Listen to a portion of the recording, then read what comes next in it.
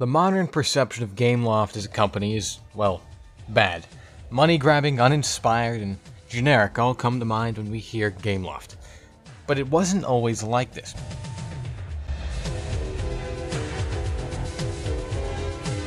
Our story begins in 1999, the year Gameloft was founded by one Michael Guillemot, who was also the, one of the five founders of Ubisoft. And Gameloft's ambitions back then could not be further from what they are today. Yes, making money was in mind, but back then the company wanted to be ahead of its time in the mobile space, and they succeeded. They were responsible for some of the first ever mobile shooters, and by 2014 they had reached their peak. Some of the best ever mobile games were released by Gameloft during this time, and that's by no means an exaggeration.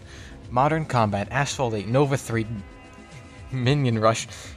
Let's look at one game in particular though Nova 3. Vanguard Alliance.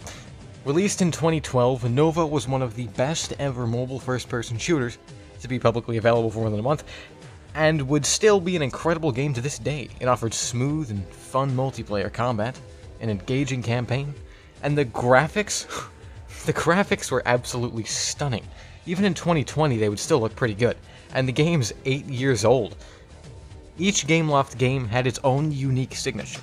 Nova had this Halo-esque combat. Each engagement was like a combat puzzle, conserving ammo, strategically rotating enemies, learning what equipment to use and when, and this is only complemented by the incredible graphics. Nova wasn't the only game like this though, and Gameloft was kind of considered the cool game publisher of its time. It would listen to fans, it would have minimal microtransactions, and the overall quality had just never been before seen.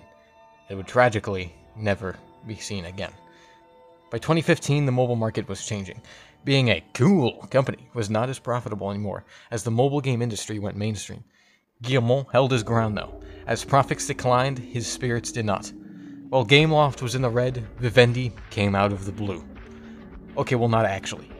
Uh, in, in, fact, its original name was Compagnie Générale des and was founded in 1853 by Napoleon III and was only later then renamed to Vivendi after it modernized in 1998. But I like that line, so I'm keeping it. Vivendi would grow to become a super conglomerate by 2015 and owned equity in hundreds of companies, small to big, like Ubisoft, UMG, Dailymotion, Activision, Comcast, Blizzard. You get the point, they're big, but they were looking to get bigger. Like any digital media conglomerate in the 2010s, mobile gaming was a huge point of interest and Vivendi wanted nothing more than to get their greasy corporate hands on the mobile gaming industry. It didn't take long for them to get their chance. By late 2015, Gameloft was on the verge of collapse. With bankruptcy on the horizon, Guillemot and his studio were out of options. To make matters worse, Vivendi was now fixated on the acquisition of Gameloft. With every passing day, the pressure for Guillemot to sell his company grew stronger. He wasn't losing this battle just yet, though. He knew the company's fate if he were to give in. Over the next few months, Vivendi's share in Gameloft slowly climbed 6%, then 11%, then 17%.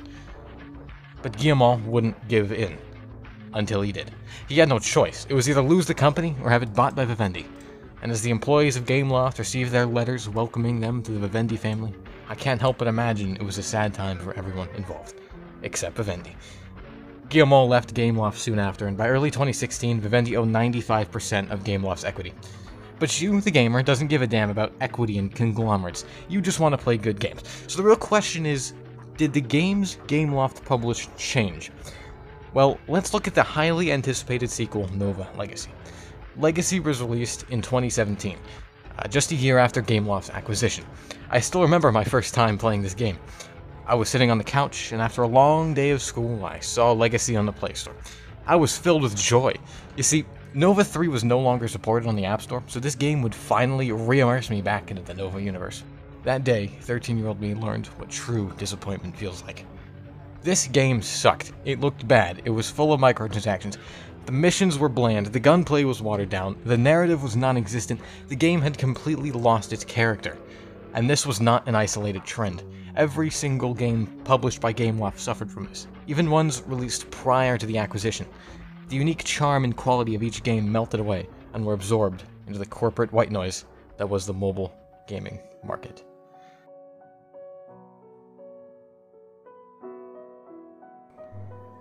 There's a concept in Japanese culture called mono no aware.